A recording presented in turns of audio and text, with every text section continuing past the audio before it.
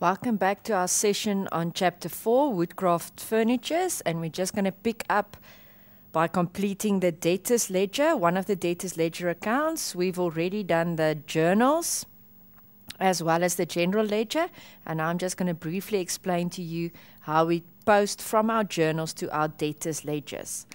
I'm going to do one debtors ledger account with you, and that account is the account of S. Breed.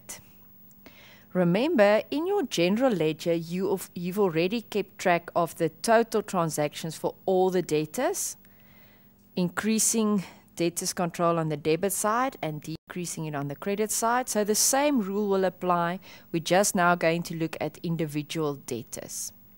In our question, they started off on the 1st of April with a total for debtors control of 20,068 and the individual debtors adding up to 20,068 as well. So we can start the account of S. Breed with the 8,750 Rand. 8,750 Rand on the debit side. And that will be our balance. 1st of April.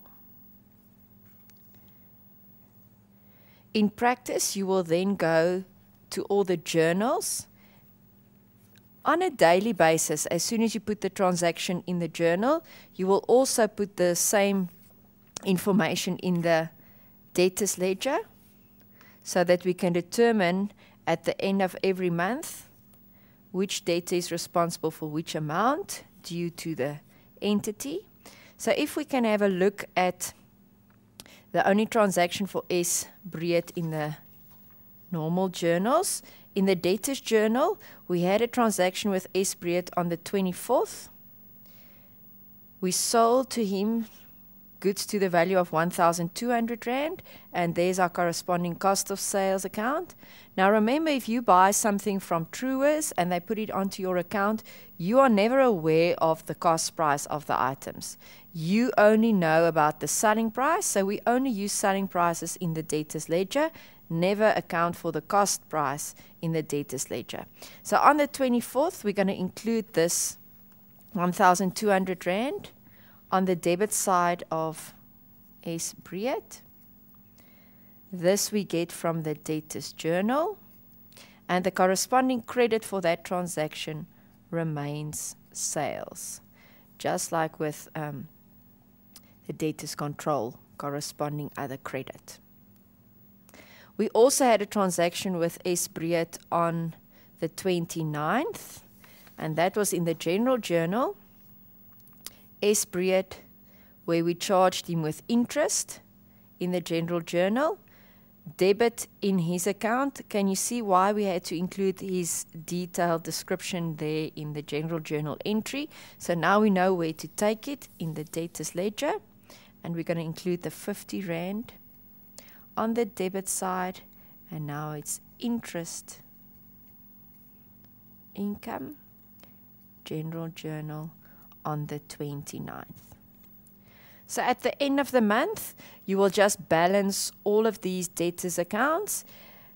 It won't necessarily only have entries on the debit side like you can see for Shinet Shinet owed us an amount on the debit side and we received a payment in the cash receipts journal, resulting in no balance for Shinet. So at the end of the month, you will balance all of these accounts of the individual debtors, and in the end, you would want the total of your debtors ledger to again agree with the total of your debtors control account. You will follow the same process for creditors. Not only have their transactions in in the journals, but also in the individual accounts for the creditors. You've now done all the postings from the journals to the general and the debtors and creditors ledger, and the next clip will deal with brief discussion on how to draw up a trial balance.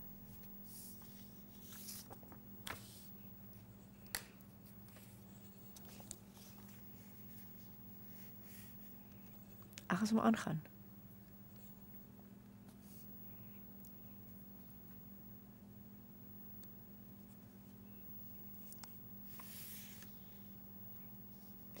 Welcome to the last session on Chapter 4 for Woodcraft Furnitures. We dealt with the required parts up until this point, and now we're going to have a look at the trial balance that we have to draw up as at 30 April 20.6. If you can refer to the diagram in your workbook on the accounting process, this question followed step by step from transactions that was given in the question all the way through the journals, the postings to the ledgers, both the general debtors and creditors ledgers. And now we're finally at the point where we can draw up a trial balance in preparation for the compilation of the financial statements. A trial balance is a list of accounts from a certain ledger. Now, in our trial balance, we want to make sure that we've adhered to the accrual concept. Therefore, we're going to have a column for debits and a column for credits. Now we just need to determine which ledger are we going to use to draw up the trial balance. You'll see that it's again a heading as at a specific point in time because it's balances and we're trying to test the duality concept with all our debit totals and balances versus all the credit totals and balances. The only ledger that deals with totals will be the general ledger.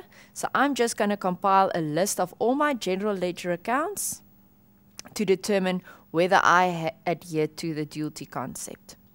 This list of accounts can be separated into two sections. I'm going to include all the statement of financial position accounts under this first section. We've already dealt with this in chapter 1, chapter 1 and 2.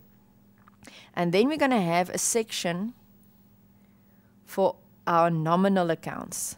Now the nominal accounts, that will be for all the income and expense accounts as included in the statement of profit and loss. So you will see that we're basically splitting all our accounts into the two statements that we're going to draw up.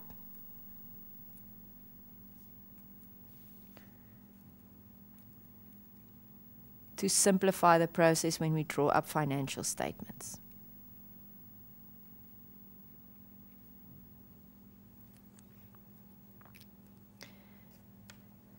We've already discussed that we're going to use the general ledger for this. So if I can just refer you back to the general ledger that we dealt with in a previous question clip. The first account there is our capital account, and you will see that we had a balance on the credit side of 124,034. So I'm going to include this capital account under the correct heading, which is the statement of financial position. So I will just include capital, and on the credit side, I'm going to include my 124,034. 34. The same for the next item, drawings. On the debit side, the owner withdrew inventory, so that 1,600 Rand will have to be included in my statement of financial position as well. Drawings of 1,600 Rand. And you will continue with this process until you've listed all the general ledger accounts with their corresponding debit or credit total or balance.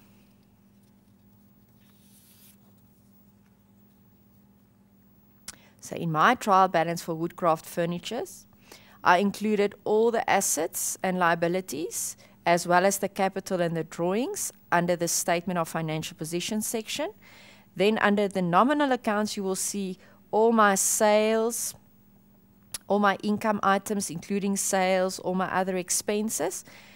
And just remember that you will not include a total for the debits and a total for the credits in here. It can only be one amount. It's the net effect after you've drawn up the general ledger account and calculated the total or the balance. If the duality concept was applied accurately, the total of your debit column will be equal to the total of your credit column. In a later chapter, we will deal with errors that can occur, but that is not part of the scope for this question clip.